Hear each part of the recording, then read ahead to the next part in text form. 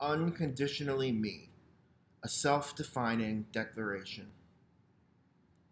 Becoming more aligned with my true self with each passing day is the goal of my self creation.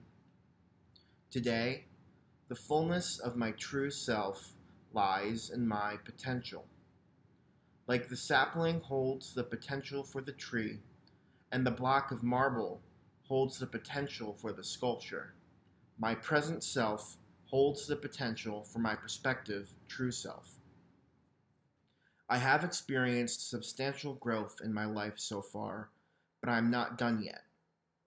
I am not quite a sapling, yet not quite a tree. I am not quite the completely unchiseled block of marble of my infancy anymore, nor am I the refined and clearly defined sculpture that hypothetically exists in my future. My identity is still in flux, and every passing day is an opportunity to explore myself and collect data about who I am and who I am meant to be. The finished sculpture lies somewhere deep within the block of marble at all times. In the same way, my true self always exists within the deepest layers of my psyche. The sculptor's focus and commitment transform the stone into a statue. Likewise, the task of my emerging adulthood is to be focused and committed to chiseling away the parts of myself that do not align with who I believe I truly am. What will emerge from the rubble will be my sculpture my authentic adult identity, my true self, which is especially genuine because I designed it. This deepest layer of myself, the culmination of the carving out of my psyche, exists more in theory than in reality. There is always refining to be done, more depths to traverse. The sculpture is never quite complete. Therefore, it is the process of creating the statue that is the true essence of my being. This process is one which brings me ever closer to my true self. The self who is alive, spontaneous, secure, vulnerable yet resilient, comfortable, creative, and both physically and mentally active. The statue that lies within my marble is free, at peace with himself, connected to others, and lives in a state of love. These are the values and mental states that define my true self. Today, I hold the potential for these characteristics, and with each passing day, as I continue to chisel away at the marble of the self, I get closer to full alignment with them. I am my true self. Rather than saying, I will be my true self, I affirm that as the sculpture exists within the marble as its ultimate destiny at all points in time, my destiny is always alive within me and gently guides me towards my truth by affirming that I am the sculpture, even as my current self on the surface may still be somewhat reminiscent of amorphous marble. I assert the impenetrable link between my current reality and my future one, between my hope and its ultimate manifestation. As the fundamental link between my present self and my true self, hope is my essence. It is hope that ultimately makes me who I am, because it is the chain that binds who I am now with the more authentic version of myself I will be in the future. It powers the chisel in its carving by bringing force to my values. Hope brings to life what I believe in, illuminates my desires and passions, and therefore stimulates my process of self creation. Without hope, I am stagnant. I am a sailboat without wind, a light bulb without electricity, a block of marble without a sculptor.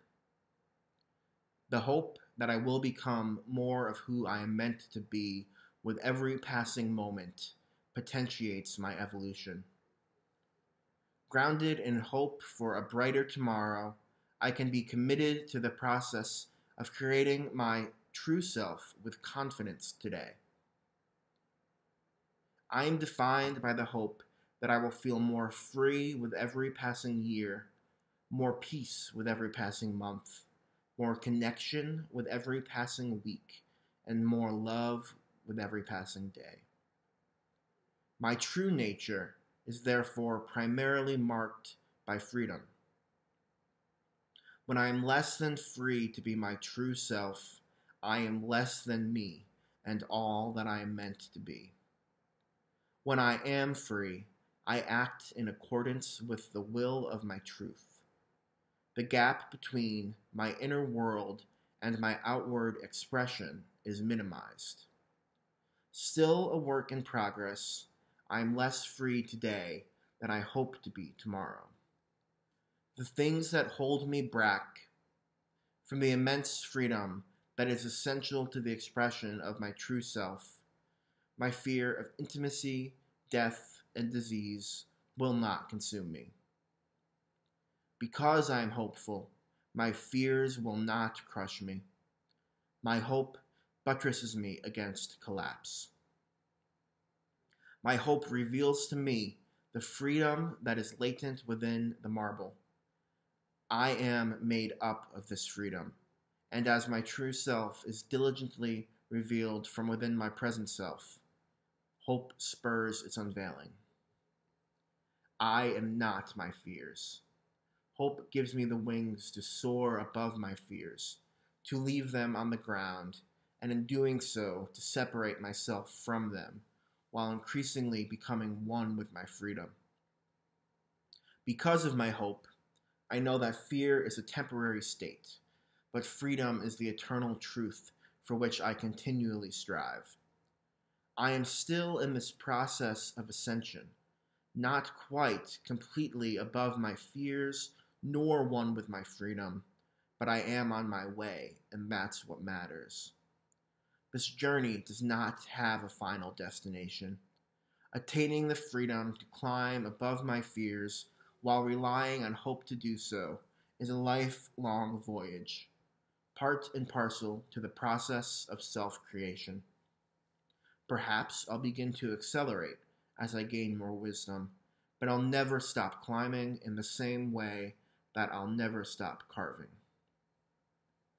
I am driven by the hope that as I commit myself to renouncing my fears and replacing them with freedom, I will feel the inner peace that is at the seat of my truth.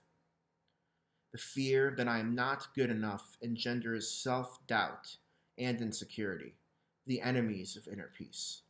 Am I too fat? Am I worthy of love? Am I capable of loving? These are some of the self doubts and insecurities that are the greatest enemies to my peace.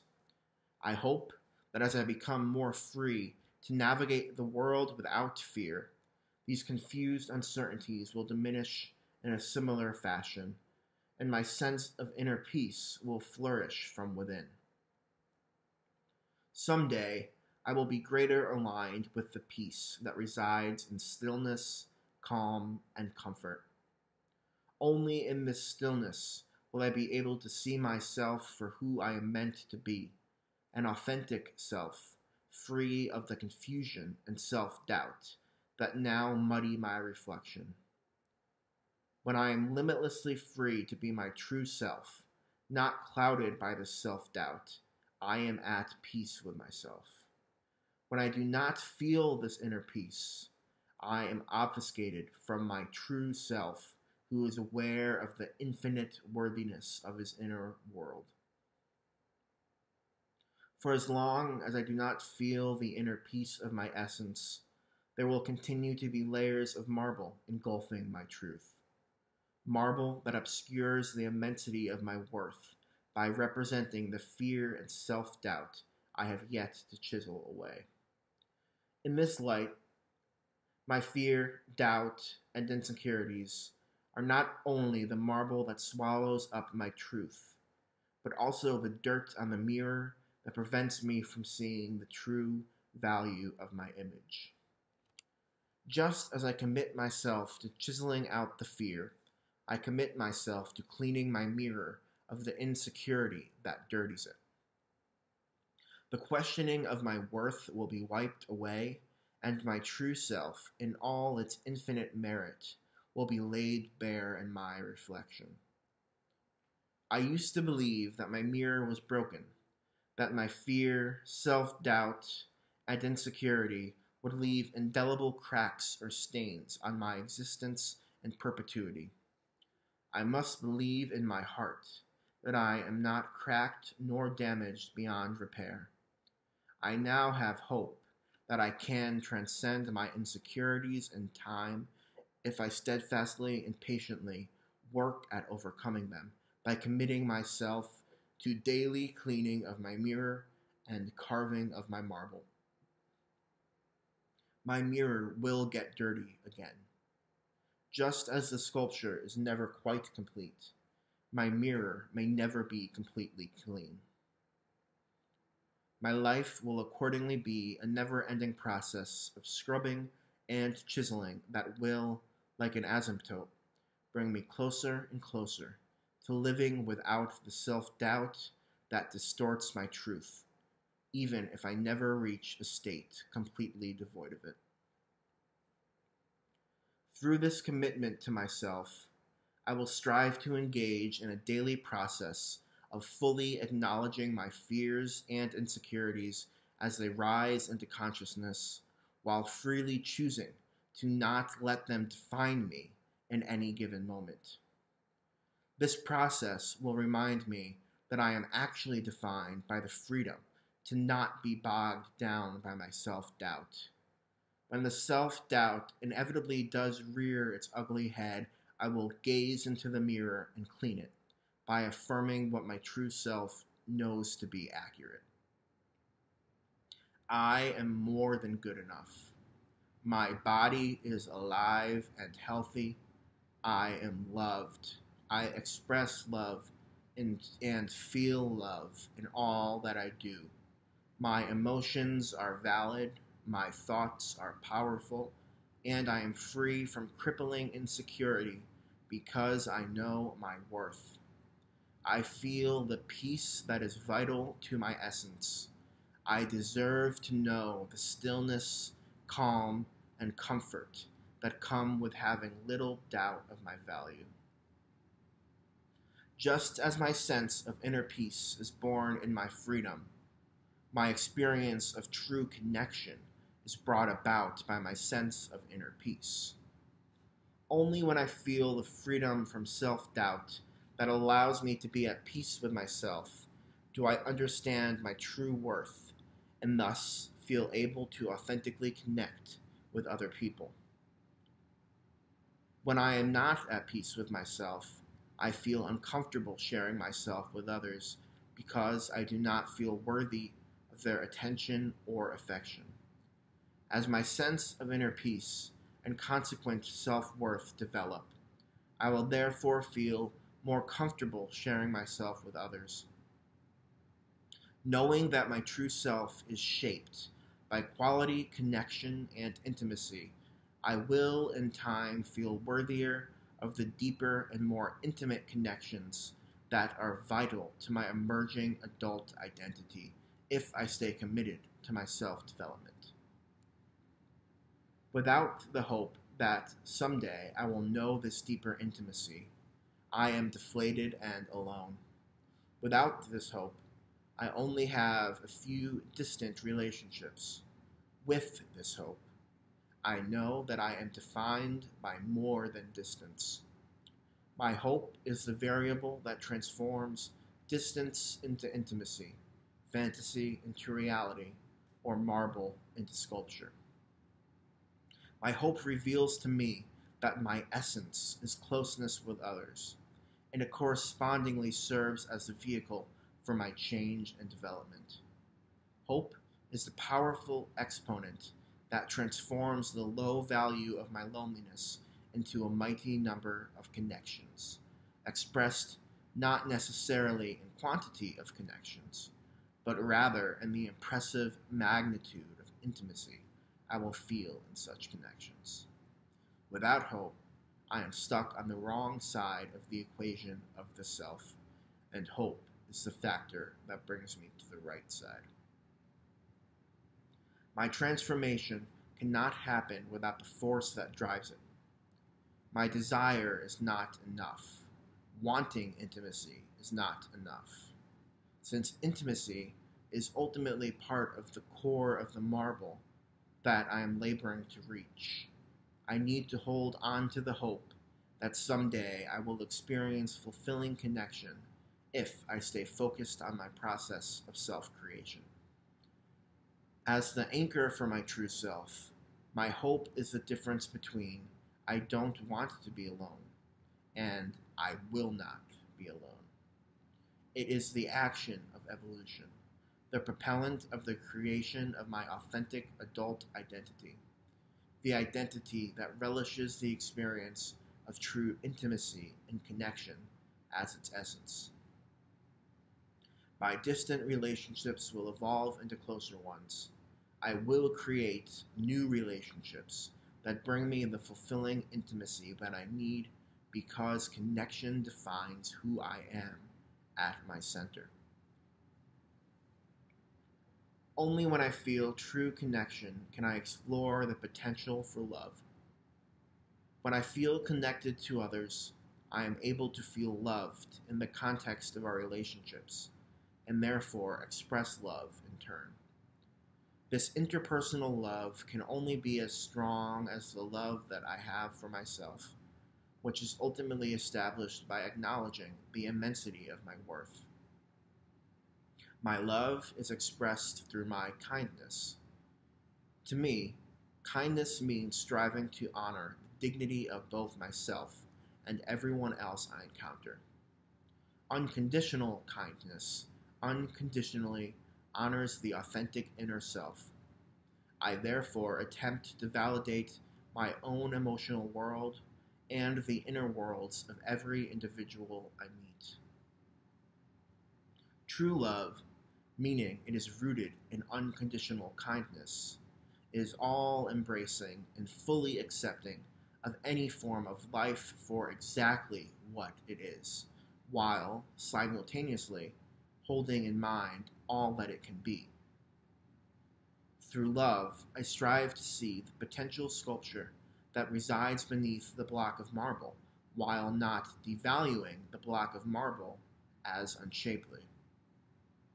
In this way, while fully accepting the self and the other as they are, my love also holds in mind and heart what the self and the other can become and gently guides them towards greater heights of growth and personal development through the validation of the authentic inner self. Therefore, functioning not only as a compassionate chisel for the self, but also as one for the other. I am driven by the hope that by opening myself up to true connection, I will know the meaning of both loving and being loved unconditionally. My love is a sort of vision that inspires kindness and dignity. It is the way I strive to see others, the world, and myself. My love comprises of honest eyes that strive to see others in all their true beauty, glory, and infinite worth. It sees the sculpture through the marble and the clear reflection through the dirty mirror. My love is not only seeing, but also being inspired by the world's true potential for peace and unity. My love strives to appraise myself with unconditional acceptance while feeling inspired by my own dignity. However, my love, particularly my self love, is broken right now. For as long as I struggle to love myself, I will continue to struggle connecting with and sharing love with others. The chain of love is only as strong as its weakest link. How can I believe that other people are infinitely worthy if I struggle to believe this most fundamental fact about myself? Although I find myself more aligned with my authentic adult self with each passing day, I am sometimes still hard on myself and struggle to tap into the self love that is at the nucleus of my truth.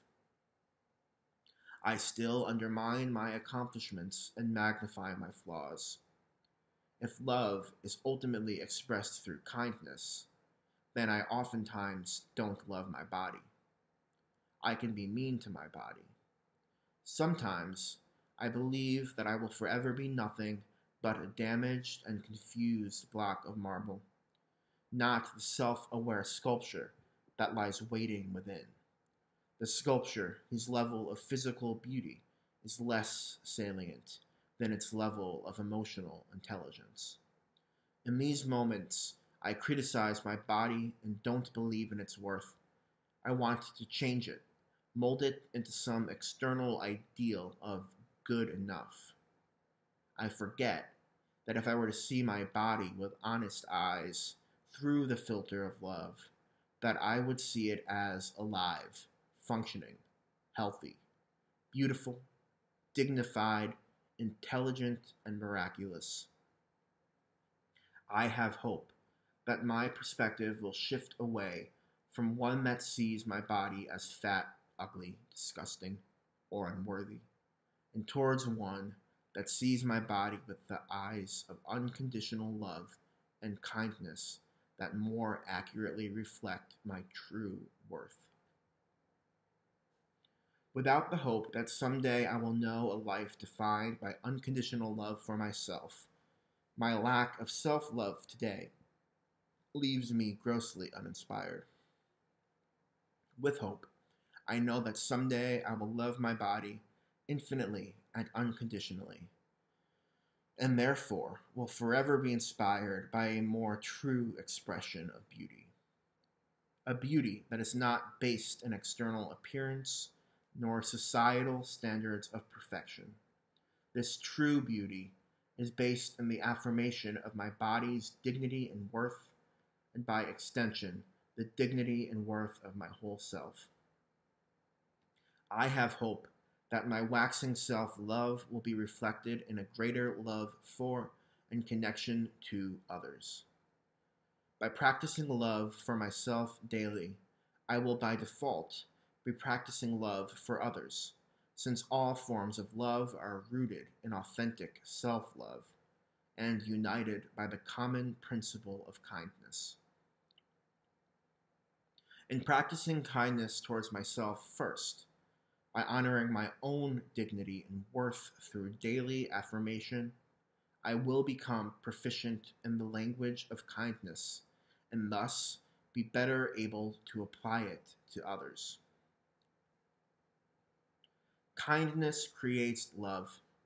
Kindness to ourselves and to those we encounter is a vital ingredient to unconditional love and acceptance. Therefore, I will strive to express love through kindness, and I will express this loving kindness not only in my personal relationships, but also in my career as a counselor. I will provide each client with the honest eyes of unconditional love and kindness they may have been denied or of which they simply may need to be reminded. My kindness is unconditional. It is not rebuking nor reproaching. It does not slap you on the wrist when you are angrily lashing out and say, Be kind. My unconditional kindness instead says, Be angry. There is a reason you are angry, and you have the right to feel your emotions authentically. Albeit unconventional, this approach opens up the space for the true inner self to breathe and spread its wings, breaking free from the confines of extraneous marble in the process, so that the beauty of the true self can be revealed in all its fearless splendor. This, in turn, opens the door to true freedom, peace, connection, and love. Through committing myself to chiseling and scrubbing away the fear, self doubt, loneliness, criticism, and meanness that obscure my innate self, and as I am increasingly better able to see and love myself for the authentically worthy human that I am, I will become a clearer reflection of true, unconditional kindness. As a counselor, the unconditional kindness I express towards myself and others will echo back to my clients. They will find freedom, peace, connection, and unconditional love if they learn to be kind to themselves first by honoring their own dignity and inner truths. Most importantly, I want to show them the hope that will propel them towards an authentic experience of the self. My unwavering belief that every individual has the exciting opportunity to engage in a process of self creation that is fulfilling because it is rooted in uncovering the true self will be the source of not only my hope, but perhaps also that of my clients. My true self is therefore driven by this purpose of revealing to others and myself the hope that is nurtured through the practice of unconditional kindness. I will find personal fulfillment in the metaphysical structure this sense of purpose provides. Unconditional kindness opens us up to the hope that we will find ourselves in a better place in the future, a future defined by the dignity, worth, and personal truths that exist dormant within us today, destined to come to the surface with due diligence. With unconditional kindness, which is the chisel to the marble or the soap to the dirty mirror, the first step to our best selves, full of freedom, peace, connection, and love, is just a chip at the marble or gaze in the looking glass away. By practicing unconditional kindness with others, and more importantly with myself, I have hope that my authentic adult identity will continue to emerge from the rubble and be revealed in my reflection as I progressively become limitlessly free to be unconditionally